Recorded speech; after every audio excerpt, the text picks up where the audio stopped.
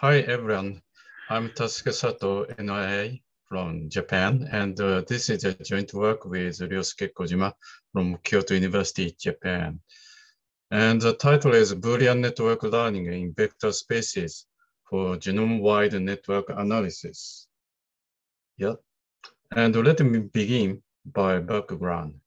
Uh, we have been working on logical reasoning in vector spaces aiming at scalability and robustness. We already have published some papers on semantics, deduction, abduction, and so on.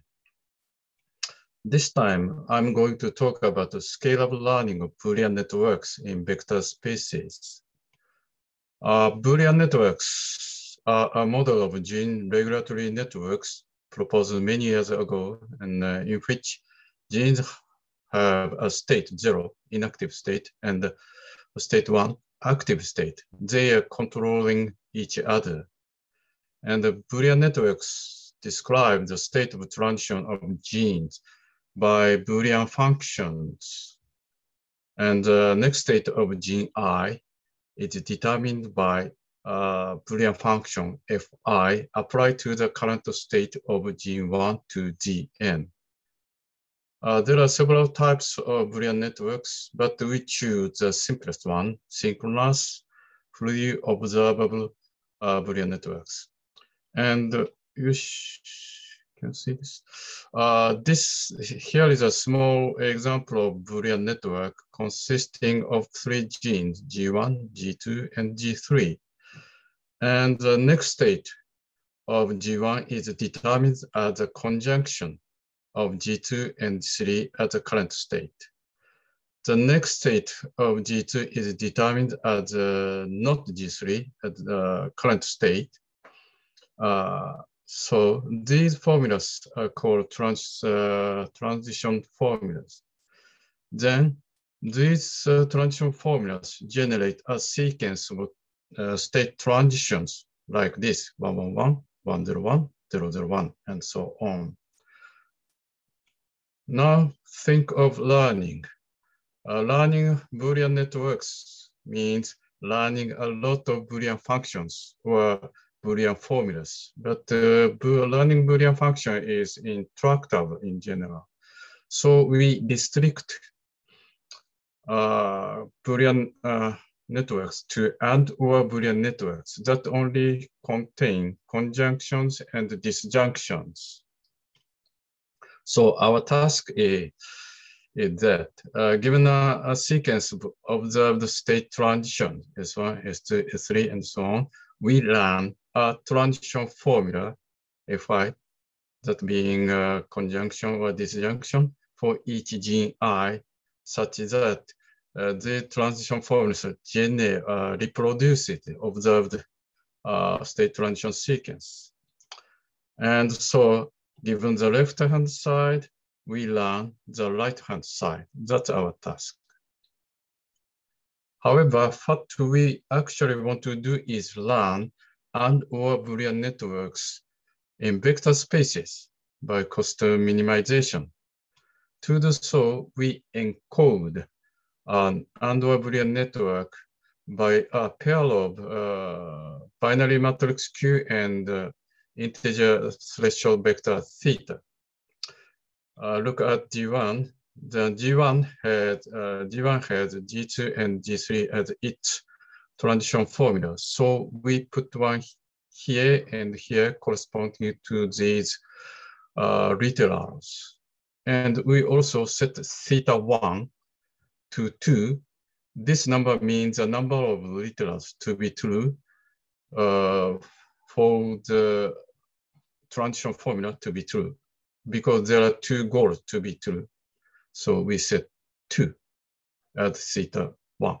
Uh, likewise, uh, G2, the, uh, the next of G2 is negation of G3. So we put one here correspond to negative literal G3.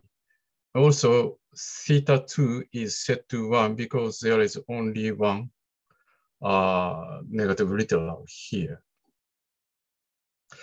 Uh, suppose uh, we observed uh, we observed a sequence of state transitions S1, S2, S3, and S4. like this. So we construct two binary matrices, S in and S out, like this. Also, we introduce the dualized S in, defined like this. Now, we can prove that if an AND/OR Boolean network represented uh, by uh, the pair of Q and theta gives actually the observed sequence of state transition, then Q and theta, theta satisfy this equation, matrix equation, and vice versa. Uh, using this fact, uh, we learn, we learn, uh, given S in, S in, S in, and S out, we learn q binary q and binary theta, uh, integer theta by minimizing continuous cost functions ji and uh, jio for each gi defined below to zero. And these uh, cost functions looks a bit complicated, but uh, they have clear meaning.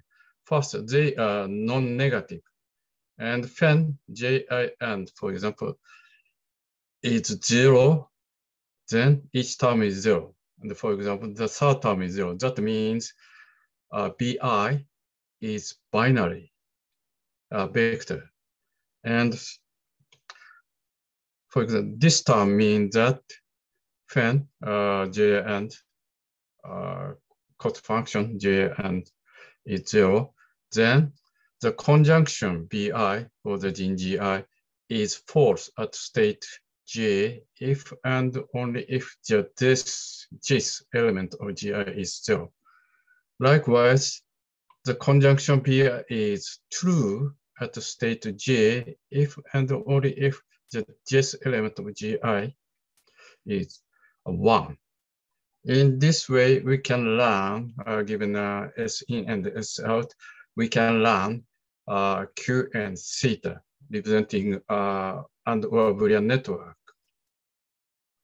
So here is our learning algorithm, but uh, let me skip this. And uh, like I said, the detail described in our uh, paper. And now we conduct learning experiment with noiseless data and noisy data.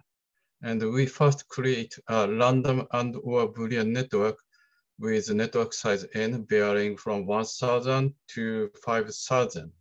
And uh, we let it generate a sequence of state transitions of length 100.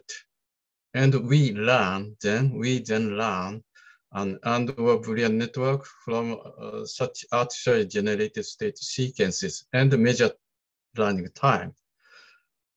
Uh, this graph shows uh, learning time versus uh, network size n. As you can see, uh, noiseless case uh, in the in two cases, noiseless and noisy case. Uh, in both cases, the learning time draw quadratic curve, which coincide with the fact that our learning algorithm algorithm learns in order n squared.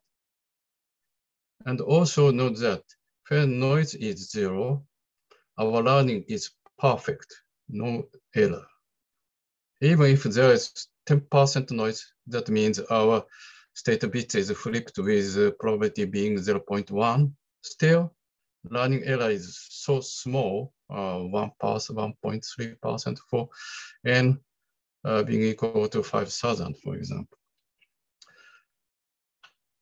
We also compare our system with the existing uh, Boolean learning system, uh, best fit and reveal, but uh, uh, they are intended for learning general Boolean networks. And so naturally they take much longer time than our learning algorithms. Our learning algorithms is specialized for AND/OR Boolean networks. And finally, uh, we uh, conduct learning experiment with real data.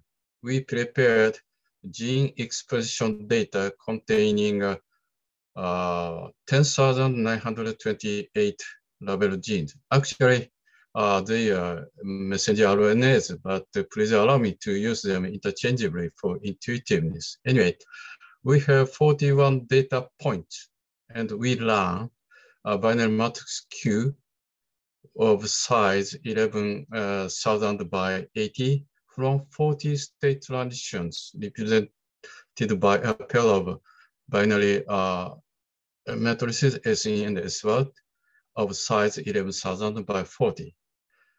And the learning result is here. We achieved, for example, 80 point, uh, 87.3% uh, approximately or learning for the first data set, but uh, it took uh, more than a day. And anyway, so we uh, achieve 87.3% for the first data and 80% for the second data.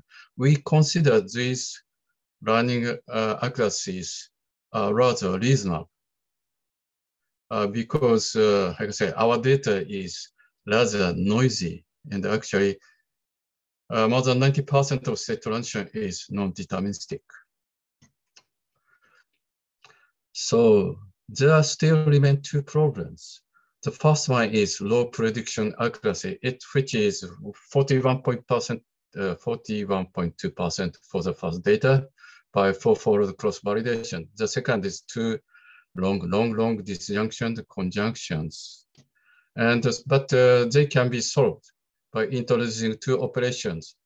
The first one is constraining the length of, forcibly constraining the length of and ors to four or less. The second one is relying. By introducing two additional operations, we can achieve prediction accuracy, for example, 84, 84.3% uh, for the second data, almost doubled by this uh, improvement. And also, furthermore, we learn acceptable and ors that only make uh, only at most one error in a fold or in the four-fold cross validation. And uh, we obtained uh, 600, 6,000 and average 6,600 such acceptable and ors. That means uh, there are there are 6,600 genes whose next state is predicted by these uh, short and ors with uh, more than with accuracy, prediction accuracy 95%. I think these uh, numbers are rather high. So summary, we reformulate uh, learning uh, learning and Boolean networks in vector spaces we learn them by minimizing cost function to zero using Newton's method, which learns in order n uh, squared. And we applied our approach to real data, real uh, genome-wide gene data containing more than uh, 10,000 genes and obtained small and accurate and ors that can predict the next state of uh, next state of, of more than six and six, uh, 6,000 genes with uh, prediction accuracy 95% on average. So future work obviously includes an extension to general Boolean formulas. Thank you very much for your attention.